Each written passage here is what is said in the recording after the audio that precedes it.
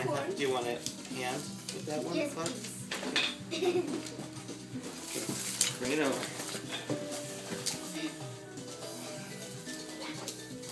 Careful of the peanuts so you don't slip.